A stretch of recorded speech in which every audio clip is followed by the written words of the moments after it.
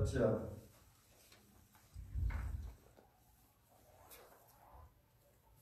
if that favorite novel or whatever it might be that you would read um, would deal with acceptance, favoritism, ridicule, rejection, sudden changes, slavery, false accusation, abuse, and being forgotten. Would you call that a pretty good story?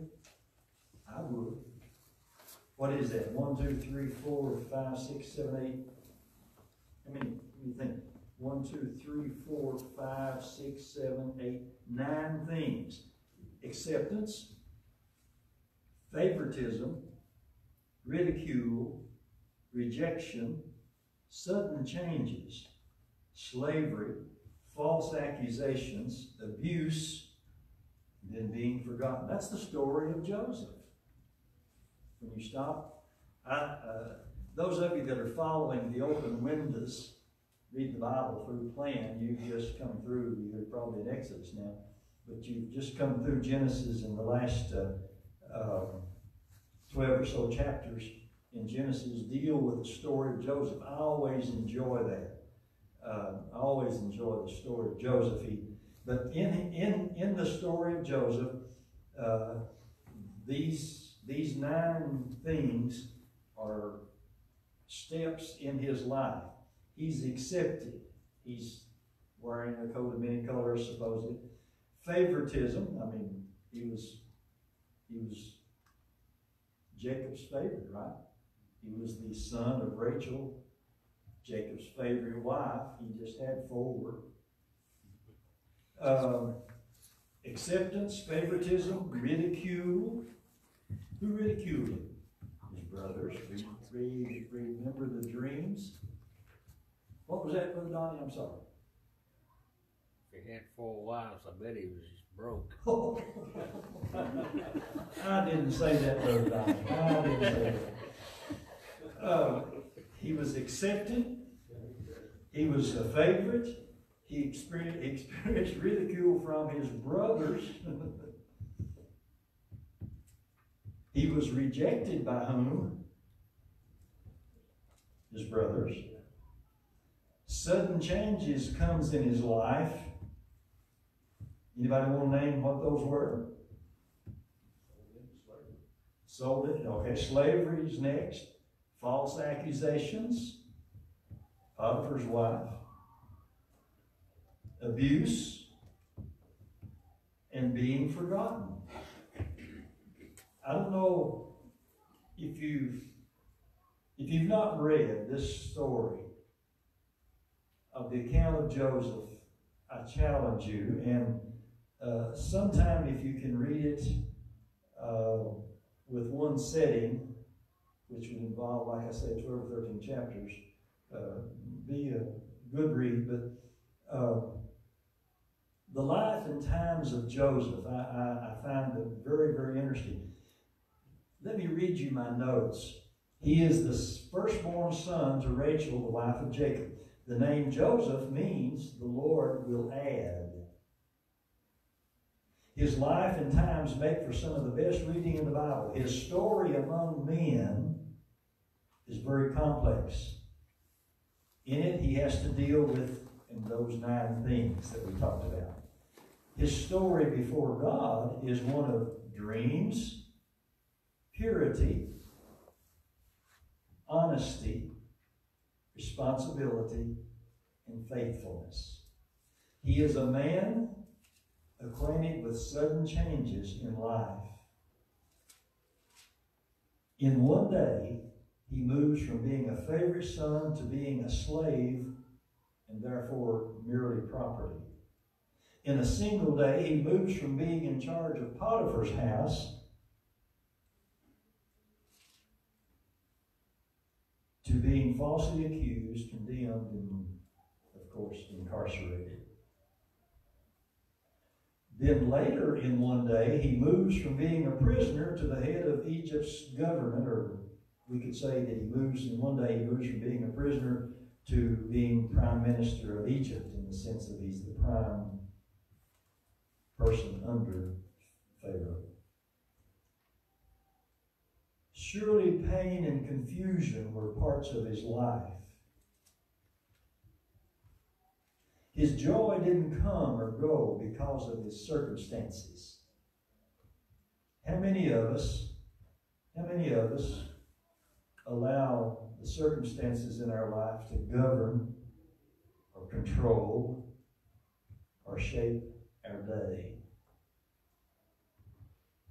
Undoubtedly, his joy and peace came from another source outside himself. Things happened in his life. How many times did he rerun the memory scenes of his earlier life? How many times did he remember his family by name and face? How many times did he question his own decisions and choices? Life is made up of lots of turns, curves, hills, starts, and stops. And so I asked the question how could he just forget it?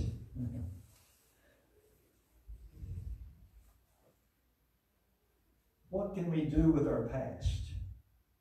We can't do anything with it, can we? Can't undo it, can you? It's gone, isn't it? Have you ever thought about the the finality of yesterday? It's gone. It's sealed, never to return. Yesterday. And tomorrow? What about your tomorrow? What about my tomorrow? With a phone call this afternoon, I made some plans for tomorrow. I'm assuming a lot of things, aren't I? I called the rental center down there and I said, I want to rent that stump grinder you've got down there. I've got some stumps I want to grind out tomorrow.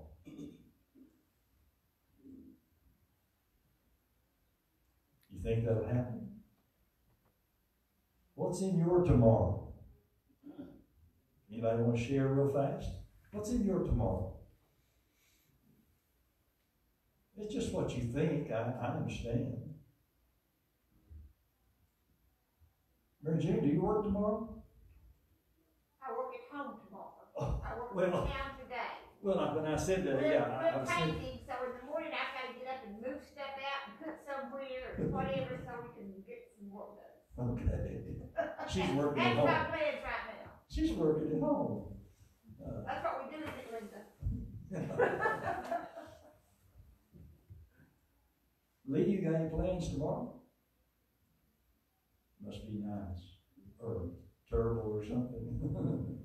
But the, yesterday is, yesterday is, is, is spent, it's gone, mistakes, uh, successes, uh, questions, um, something we said out of turn, or something we shouldn't have said at all or something we wish we had said. Yesterday's gone, isn't it? And tomorrow? Mm-mm. What is tomorrow? Well, how about today? We're still living in the today, aren't we? You chose to be here tonight, and thank the Lord you did. But yesterday's gone. Tomorrow is a maybe, and today is all we have. And so um, we can't erase our past. Joseph couldn't do a thing about his past.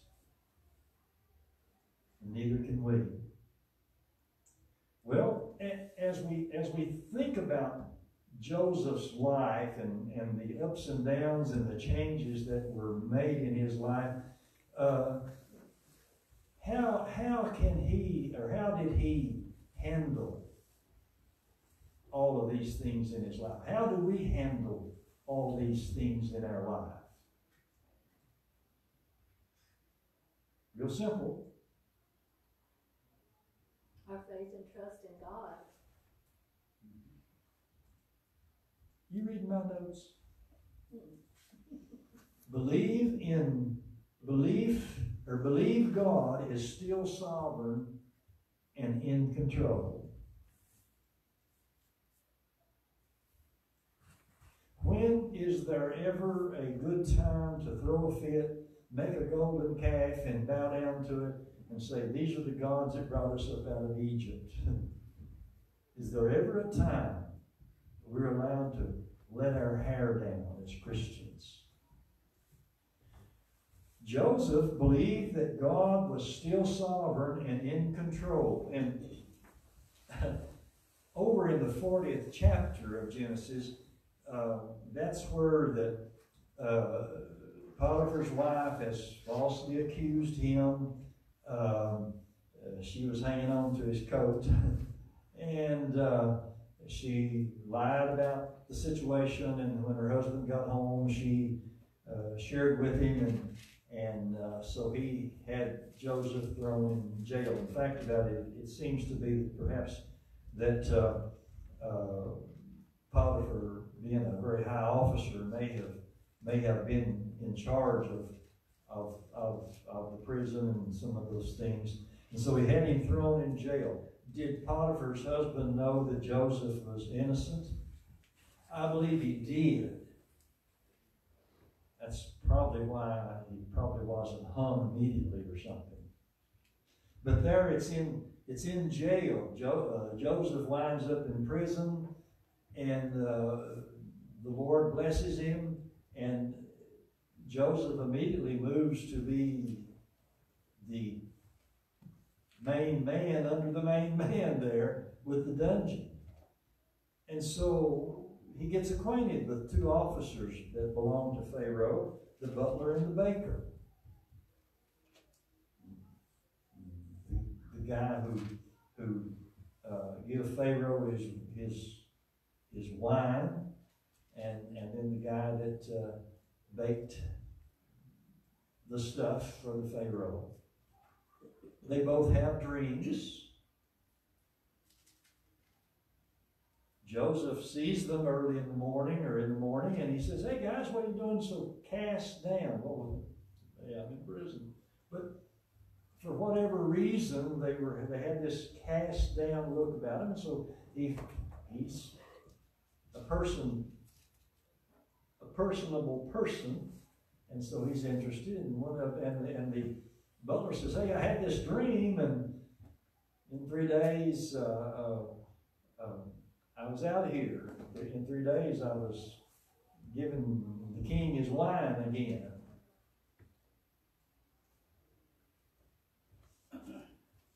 And so Joseph interpreted the dream. And he said, Hey, in three days, he'll reinstate you. And the butler or the baker thought, well, man, this is this is okay. He's given a good interpretation. And so he says to Joseph, well, well, well, I had this dream, and I had these three baskets, and they were on my head, and the birds came by and ate out of the top basket, and all. And I, and I can't I can't uh, uh, redo it verbatim, but Joseph says, hey, in three days, King's going to lift up your head lift off your head. And of course, that, that happened.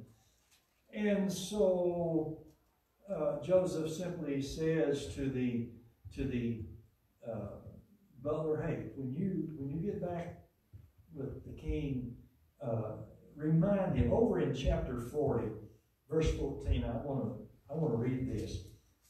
Genesis 40, 14. But remember me when it is well with you and please show kindness to me. Make mention of me to Pharaoh and get me out of this house. This is the only place, the only time in the story that Joseph seems to um, defend himself. Talk about his own innocence. Well, over in chapter 41, Verse 1 Then it came to pass at the end of two full years that Pharaoh had a dream. Anybody remember what that dream was?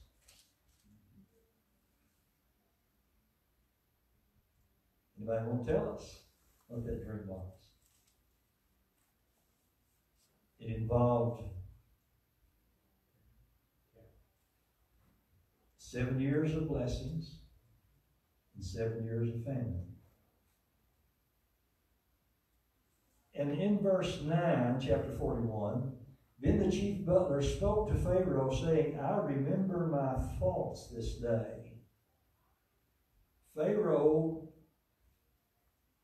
had these dreams and nobody could interpret them properly, so the butler says, Hey, wait a minute, wait a minute. I remember a couple years ago you threw me in jail. And he goes on. So Pharaoh says, Hey, hey call him. Call him. And so there's the. But Joseph believed that God was in control. No matter what, let's take away something here. No matter what our situation may be, or no matter what our situation may come to be, what should we know under that? Underneath all that, and in spite of all that, what should we know? God's in control. Is there ever a time, does he ever take a vacation? Brother Jason says that he sets aside times of the year to do stewardship. And you know, some folks seem to have the idea that because I'm not there, yeah, I'm a member there, but because I'm not there that Sunday, you know, I don't have to give. I don't get to give. And so they don't. Does God ever take a vacation like that? His grace is continually, continually given and granted to us. Well, you know, no matter what our situation, we can count on God being in control. I don't know how Joseph knew this. I don't know what kind of teaching he had in his background. I don't know. Jacob had been a scoundrel in times and ways. Uh, but evidently, in later years, he learned some things and maybe taught Joseph some things. I don't know how Joseph knew some things that he did. But Joseph knew, Joseph believed that whatever his situation was. You see, we never we never see Joseph getting mad and throwing a fit and as we say, having a spell. is there ever is there ever a time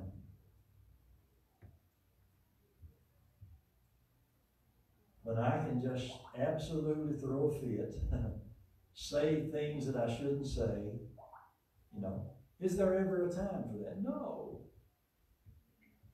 No matter what my circumstances or situation may be, I'm to be a Joseph. Now, I want to be a Joseph. W A N T. I want to be a Joseph. Another way that Mo, uh, that Joseph dealt with the situation, even though it doesn't say here, I believe we can safely say that it's just understood that he prayed. Is there anything we cannot pray about? Is there anything that God cannot handle?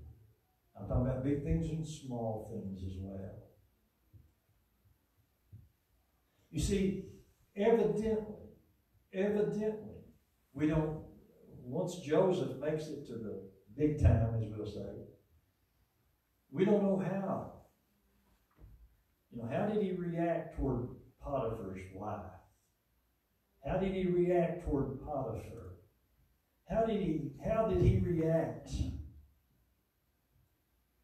toward those that he encountered in prison who were mean and honoring and vicious?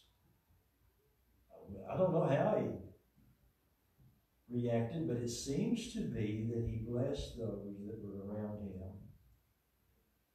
Okay, You see, forgiveness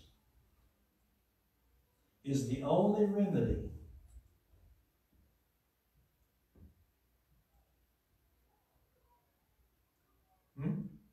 Amen? Obey. Amen. Forgiveness is the remedy for those who trespass against us. Now that doesn't mean you like it. doesn't mean that that uh, uh,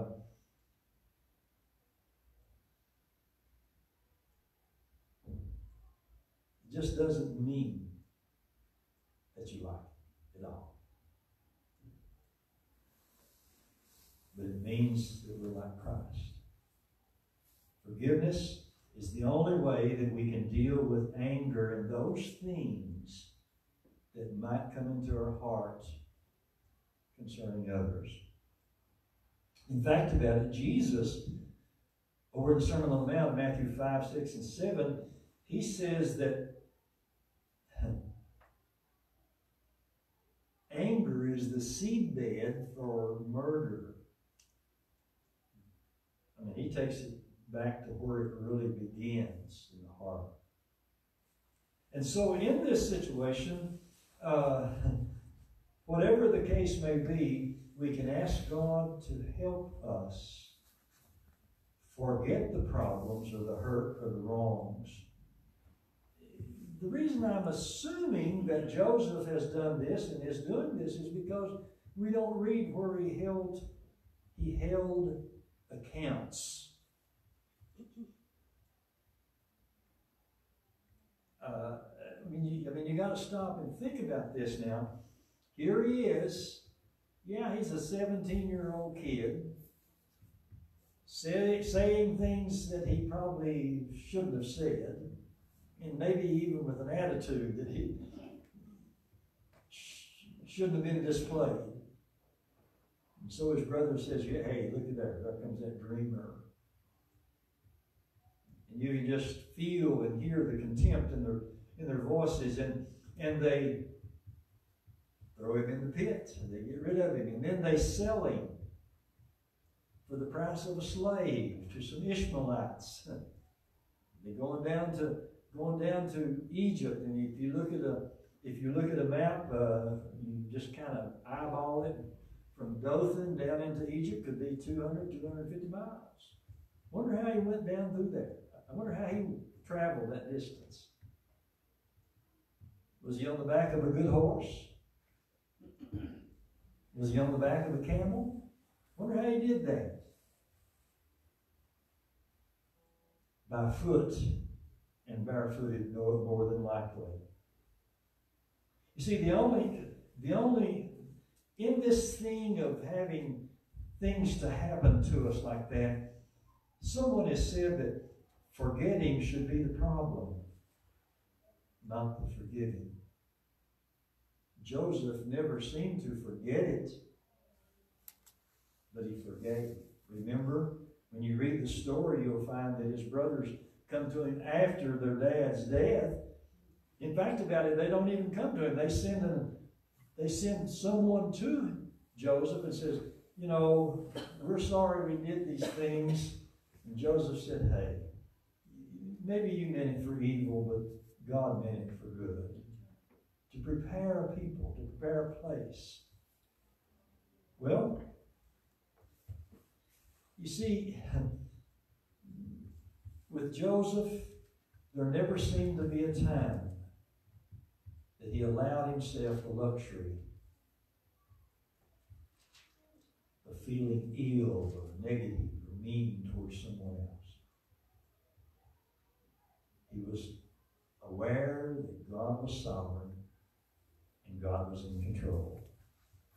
And then one uh, another Joseph principle is to look outside yourself. Look outside yourself for joy and contentment and peace. I challenge you, as I've challenged folks down through the years, to read your Bible. You say, Well, I don't understand, and I can't pronounce those words, and I don't know how and why this. Keep reading. and then reread. And then read it again. It's amazing how that we find those biblical characters. Uh, See, see, Joseph from the time he was 17 till he died, he never was his own man again. Never was his own man. He was a slave. He was property. Yes, he was high up. That's true. And he, he rode in a chariot. He, he was, and folks bowed the knee to him, and, and uh, he, had a, he had a ring that belonged to Pharaoh on his hand. But he was property all the time. He was property.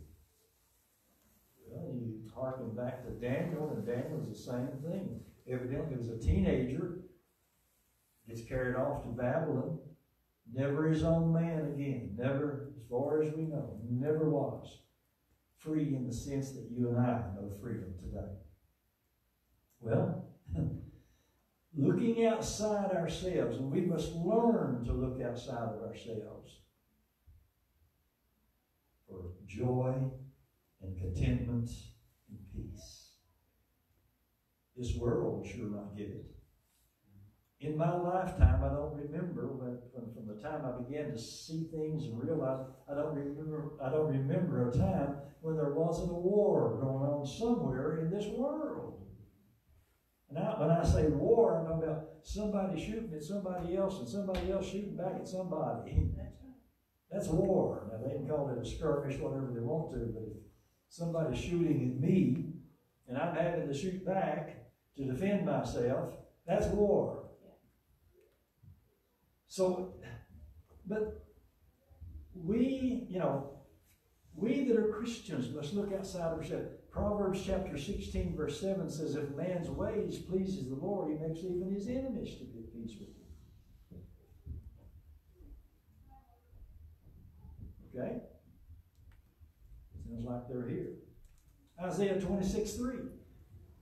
He shall keep him in perfect peace, he whose mind is stayed or fixed on him, God. Now these are these are biblical promises. Philippians chapter 4, verses 6 and 7. So the Joseph principles, forgiving, trusting God.